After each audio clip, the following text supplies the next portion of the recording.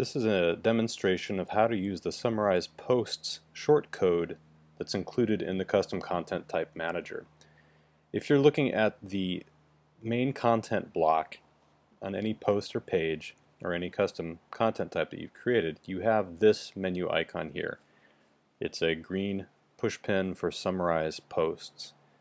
And when I click that, what opens up is a light box that defines a search.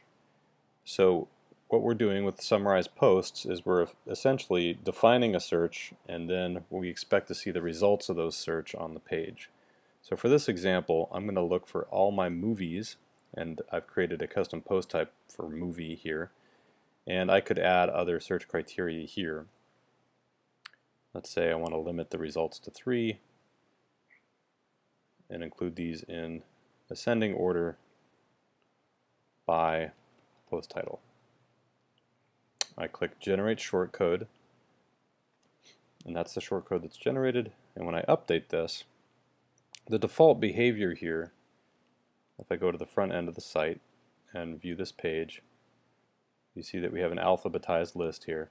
The default behavior is an unordered list. Now to do something more advanced we can use the full version of the shortcode which uses both an opening and a closing tag.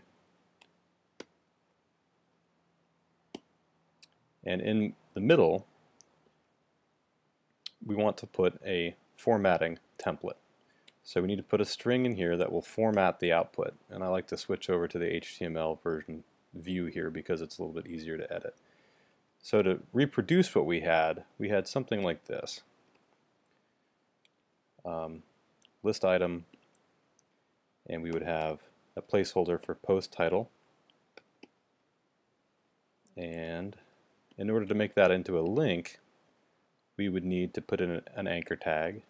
And there is a placeholder for permalink. And then I'll close the anchor tag here. And when I update this we should see about the same thing on the front front page.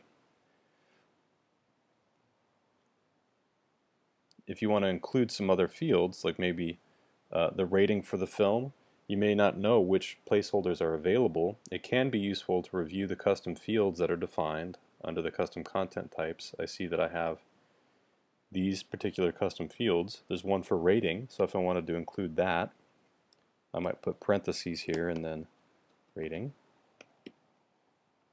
I'll update this and we'll view this again and see that now we are including the ratings on each of those films. A common task is also to include an image. So these particular posts, the movie posts, have poster images.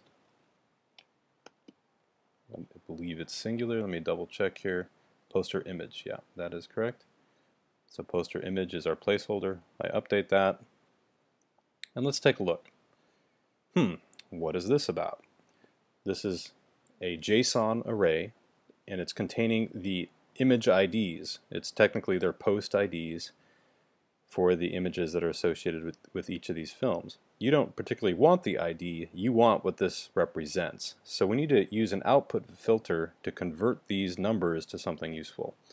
So under poster image, I'm going to use colon and to image tag. That's an output filter. And it will convert a number into an actual image tag.